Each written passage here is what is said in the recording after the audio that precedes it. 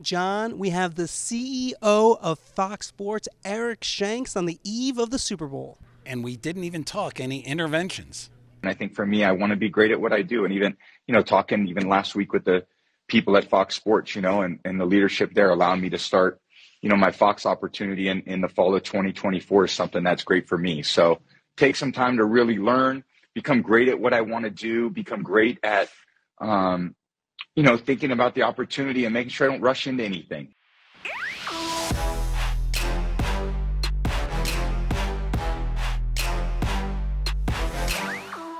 And we're back. In the Marchand and Ourand Sports Media Podcast. I'm Andrew Marchand, sports media columnist for the New York Post. He's John Ourand, the media reporter for the Sports Business Journal. Very excited for the big get. We have Eric Shanks today, and then we're going to have a special pod coming out on Friday. We're scheduled to have Brian Rolapp, the number two at the NFL, who's involved and responsible basically for all their big uh, media deals that they've done, including the latest with YouTube uh, for Sunday Ticket. Going to be a strange interview because he apparently doesn't listen to our pod. Uh, yeah, I think he listens. All right, let's go. Who's up? Who's down? Who's up? Who's down? My who's up is Tom Brady.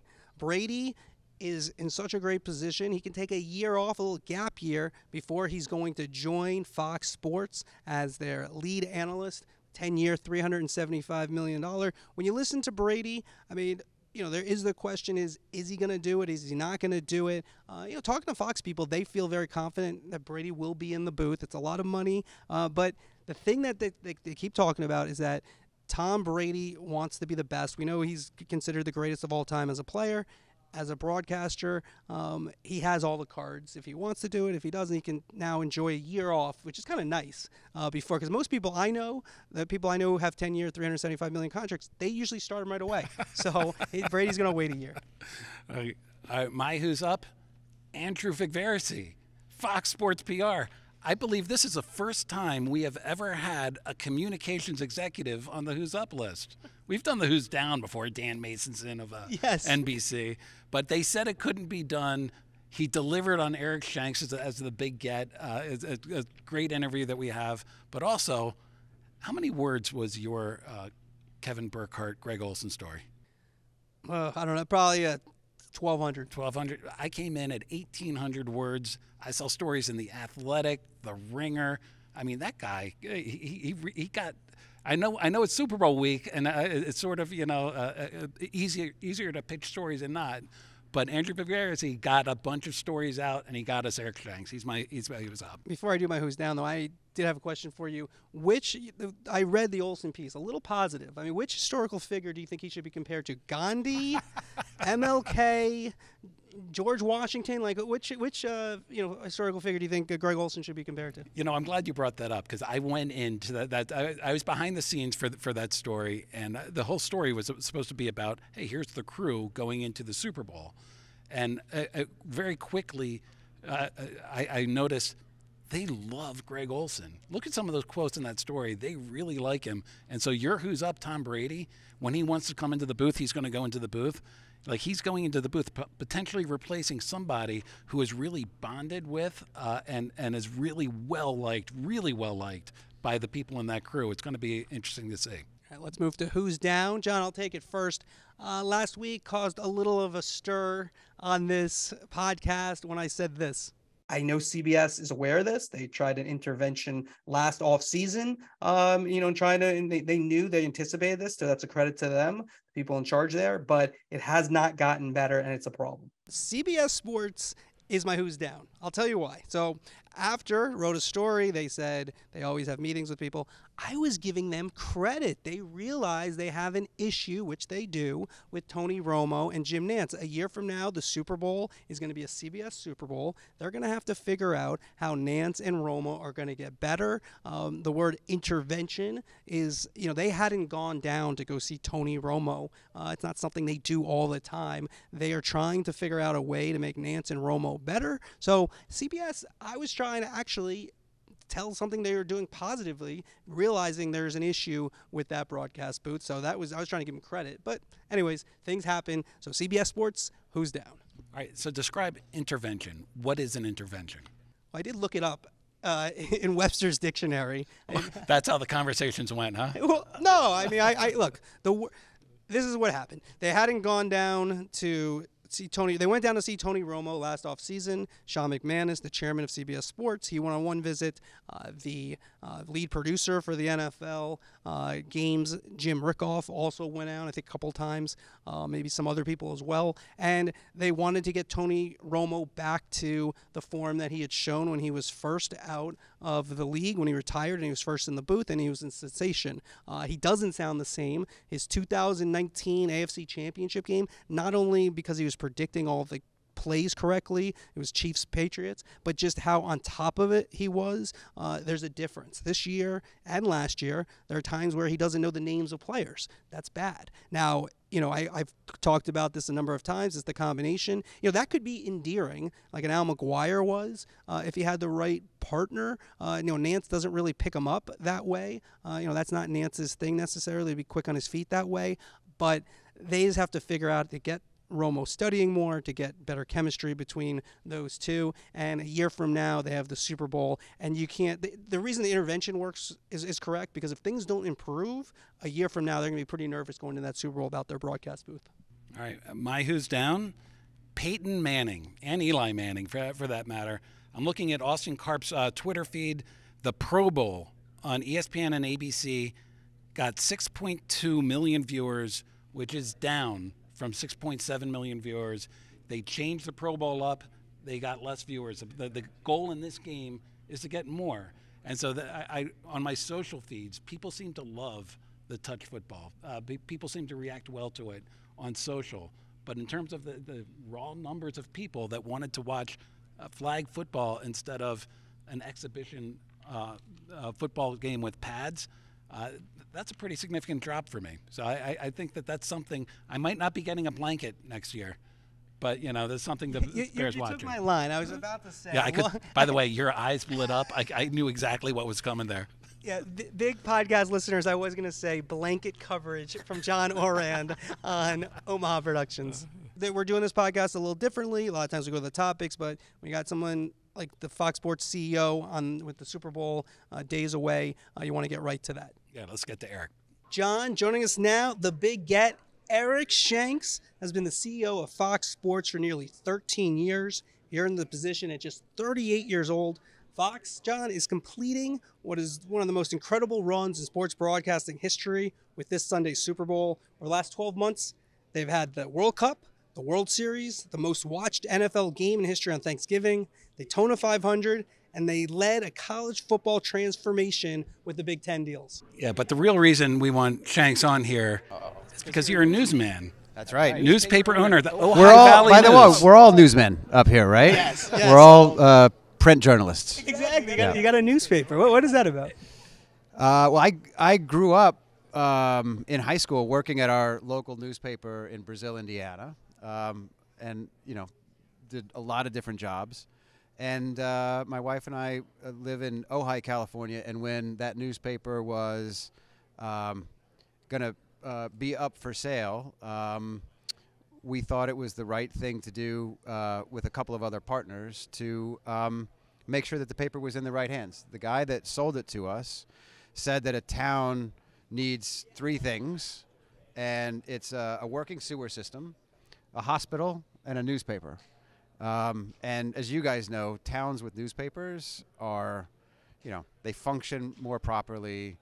Uh, there's less corruption. Um, there, everything is better in a town when there's local journalism. And so And I'll tell you what, I went to the website uh, before this interview. we got a big story today. Top story: the uh, the City Council of Ojai hired a law firm in San Francisco and won't tell anybody why. Exactly. So we filed a lot of uh, Freedom of Information Acts. They're trying to sidestep us, but we're on the case. We're on So, the case. Very so Eric, I hear want I want to ask you though. 38 years old, you're you're all of a sudden the, heading up Fox Sports. How did that happen? How does that happen? Wow.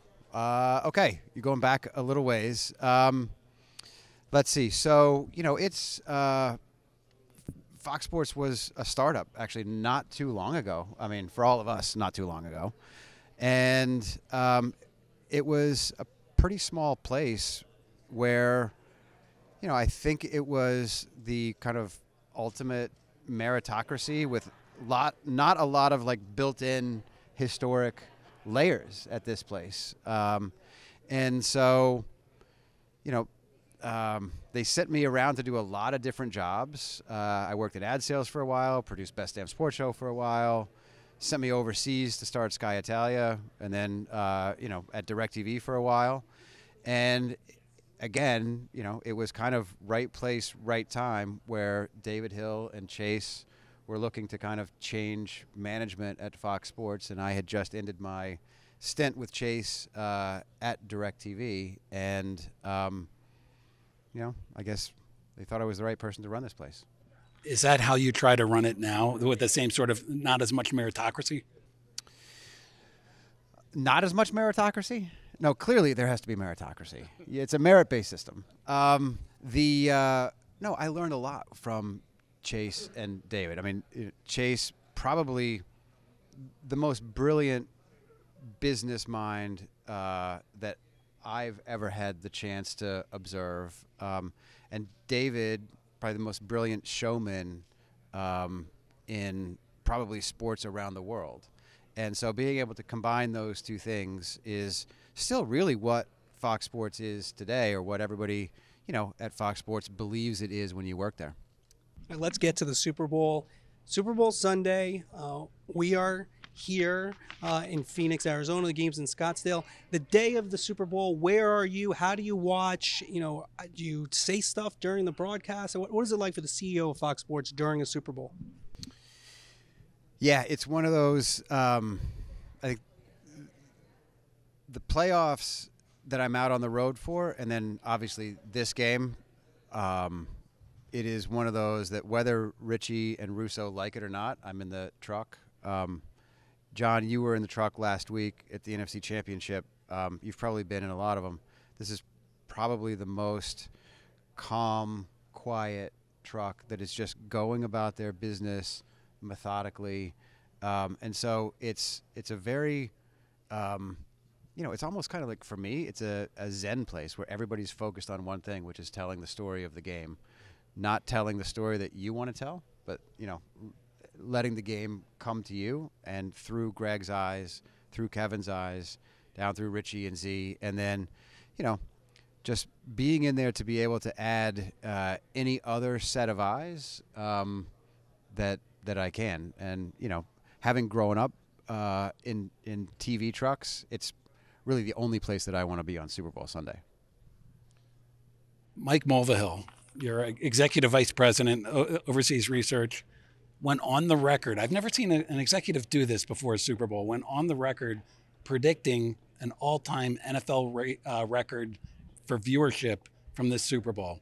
Where do you stand on that, Eric? Well, I read the memo that uh, he sent out, and then I read your paraphrasing of it. So I think in translation, you're the one that said he's gonna that uh, he said he set a record. Um, but I think he caveated it as Mike always does. Yeah, I didn't uh, put quotes. Yeah, in, exactly. Because Mike, Mike is always Mike is always right, or leaves himself room to be right. Um, there he is, right there.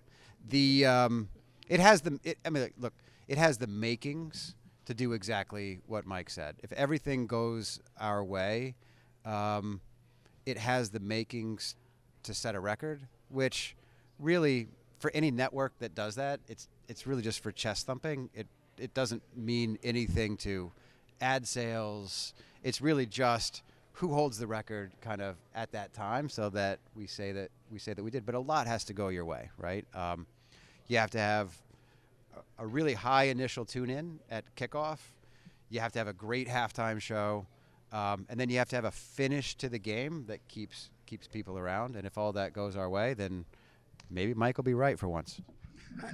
Now eric we, for once my gosh we just had uh, you just had your you know, press conferences. Kevin Burkhardt and Greg Olsen are going to be calling the Super Bowl. You had Joe Buck and Troy Aikman.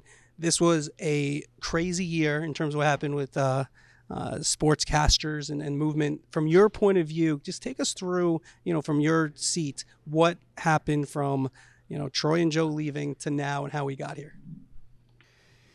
Yeah, I mean, I'm sure you've probably talked to probably our peers as well. Um, I think everybody was kind of reading and, and reacting and trying to figure out, okay, you know, if if if this puzzle piece moves around here, you know, what are your options? Um, you know, between Brad Zager and myself, um, we always knew that Kevin and Greg could call a Super Bowl, hundred percent. So if if what eventually happened, you know, was in the cards that Joe and Troy ended up going somewhere else, didn't know where that was going to be at, at one moment in time. We were honestly never really scrambling behind the scenes because we knew that, that Kevin and Greg could absolutely step up at a high level. And I think now everybody's seeing that as well. So for us, the bummer was Joe and Troy leaving, but then after that, we were pretty content, you know, with with what our plan was. What has surprised you about uh, Greg and Kevin?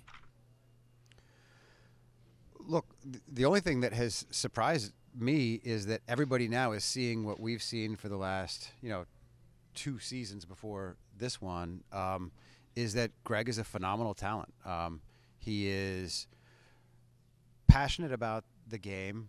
He's able to teach the audience really high level concepts in an entertaining way.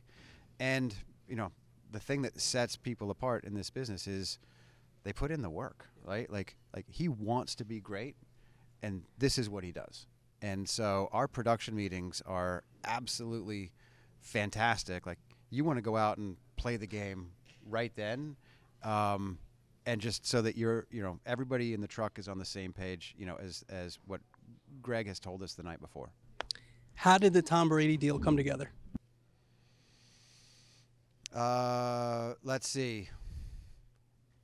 Initial conversations, um, and then a surprise retirement um, that we found out about on Twitter, just like everybody else, and then Brad Zager really saying, "Hey, we've done it before. We've done it with Greg. We did it with Michael Strahan.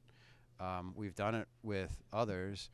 You know, would you be open to having the conversation about, you know, having your we, we just we, we did it with Kevin Harvick just this past weekend. Um, but would you be open to at least you know having the conversation about planning post playing career if you're going to go back and um, you know it all came together and that's that's where we are today.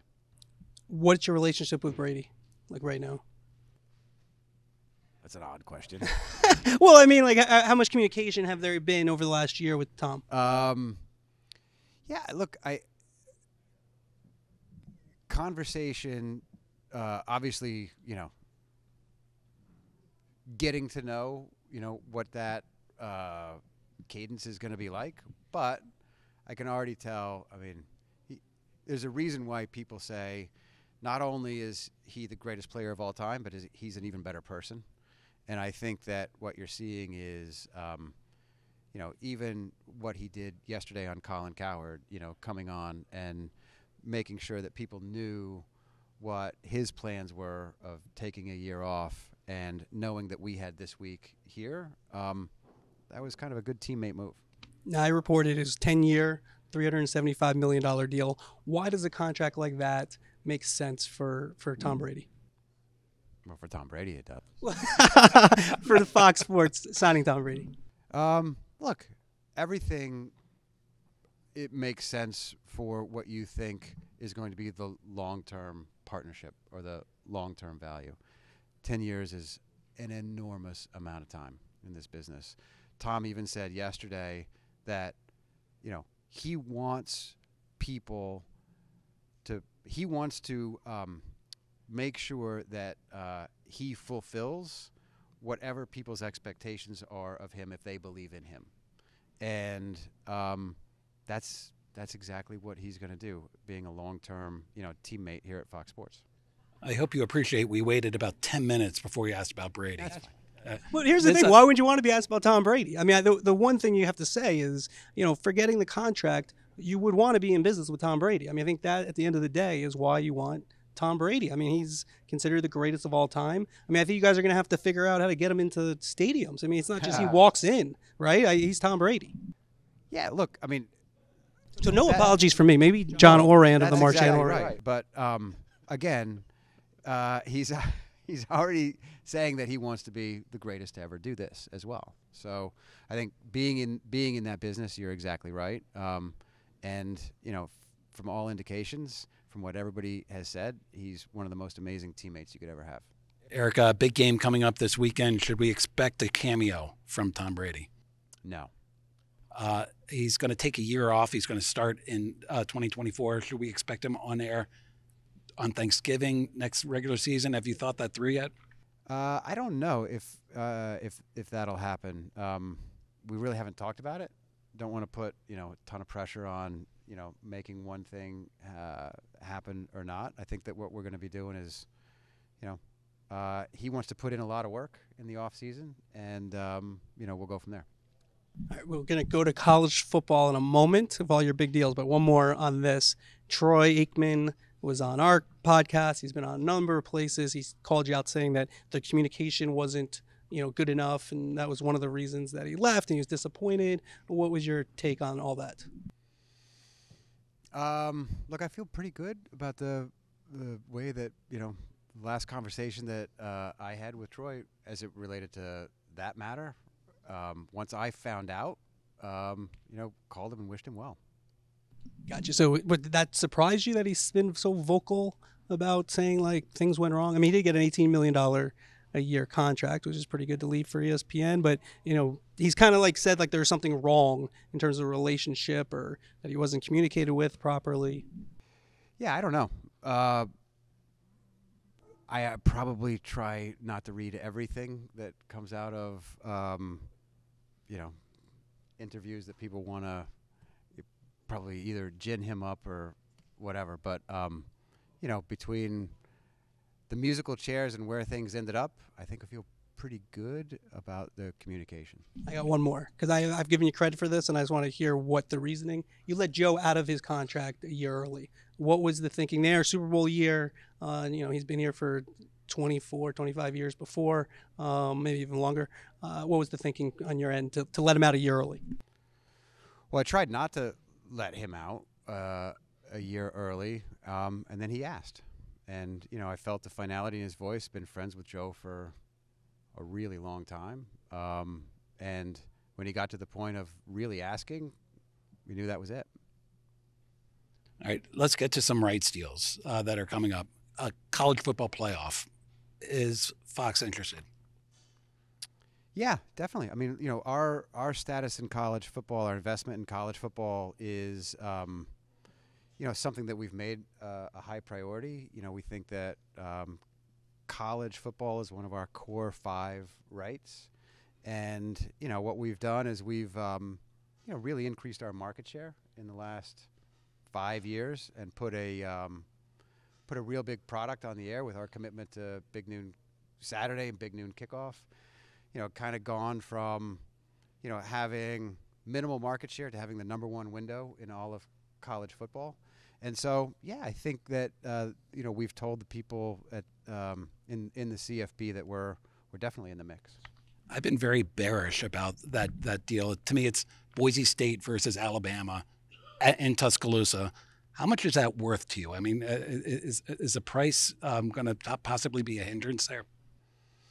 Look, everything is uh, market based and a moment in time, and then you know you've got to be pretty content with your strategy in the sense that you know adding you know it has to have real value right to be additive to our portfolio. And you know once you go through NFL Big 10 you know World Series FIFA NASCAR you know it has to actually elevate that that mix um, beyond ad sales if it's strategic and so you know I think at that point you got to figure out you know what is the market telling you it's going to cost and then what does it do for you it's good it's it's you know these rights are they they're valued differently by different people right for whatever what they need at that moment in time What about how about the Pac-12? You have interest there?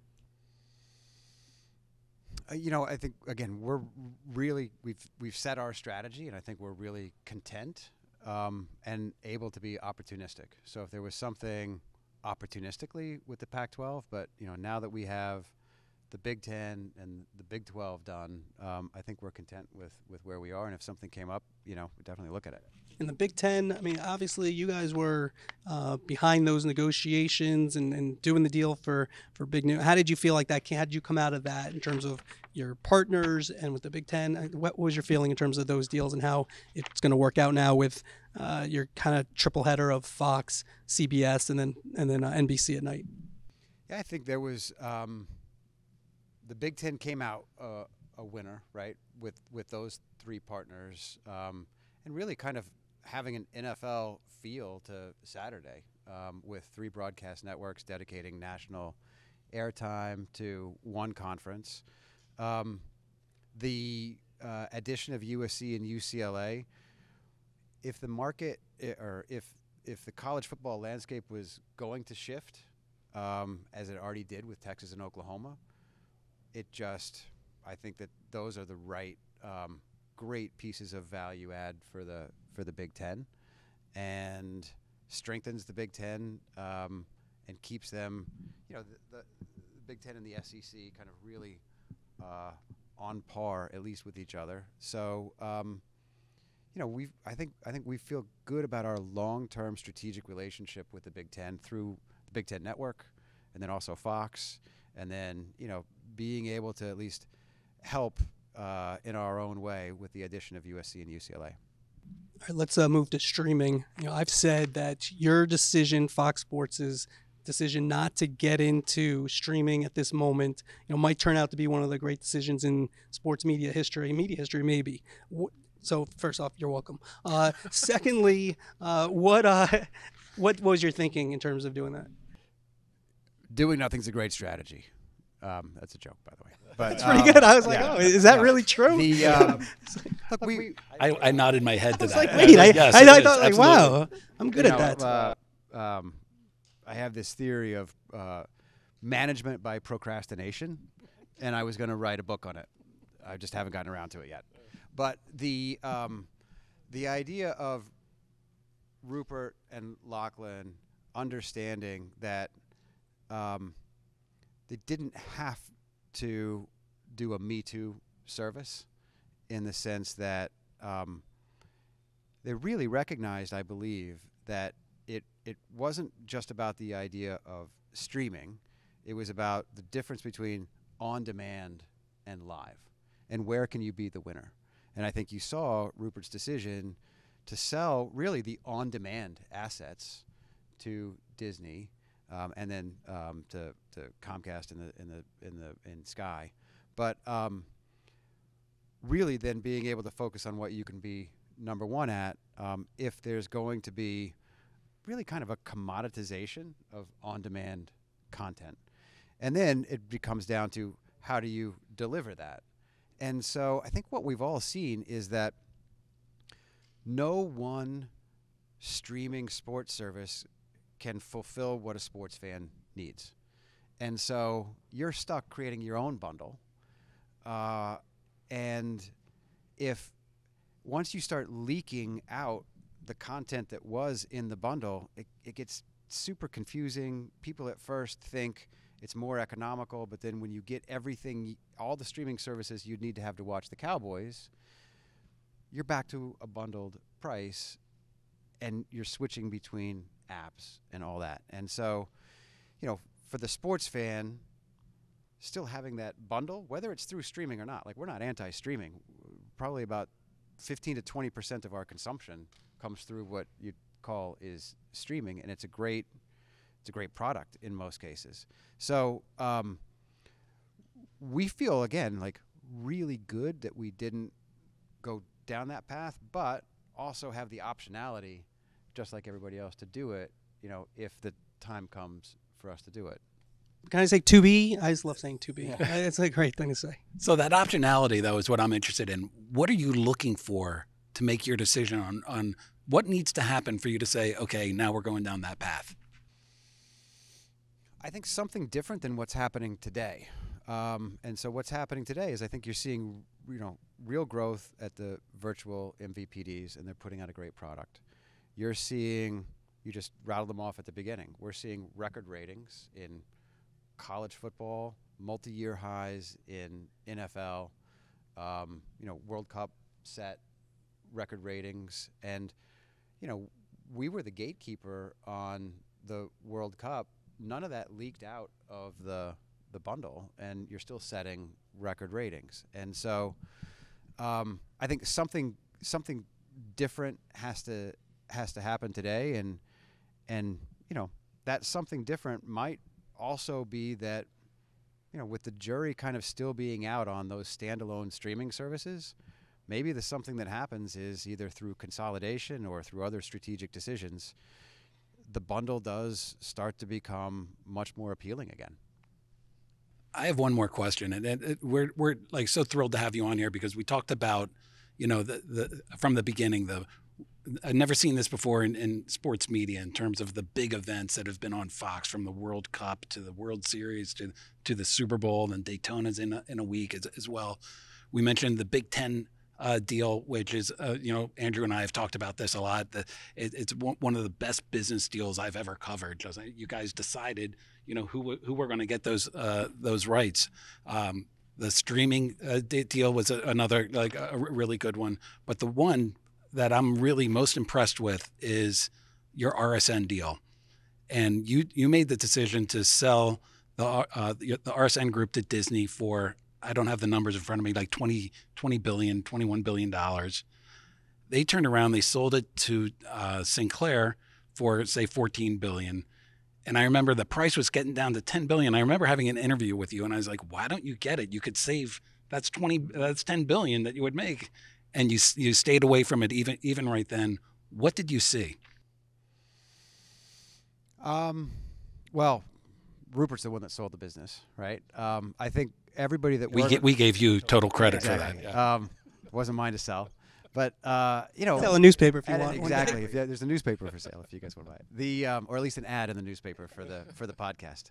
The um, uh,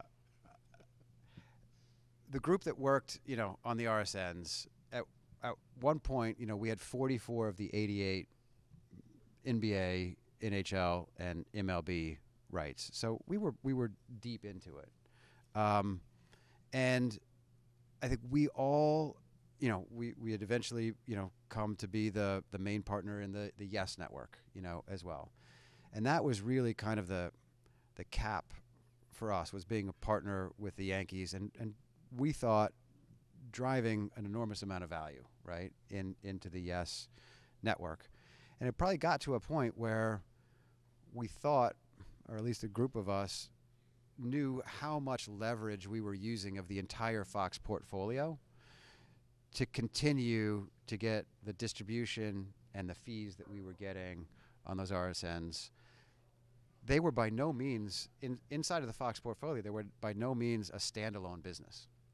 Um, every part of the Fox portfolio was used for the, the distribution and the fees. Which is uh, crazy to me because the, the local rights are powerful. The ratings that you see from those networks are like through the roof locally. It, it that makes uh, like, but but I, I I saw that. I Yes Network got knocked off, and it took uh, in, in New Yeah, Jersey, hard. Connecticut. It's hard. It took Fox News to put them back to on. be out there on your own is is really hard, especially when you're asking such a, a high rate.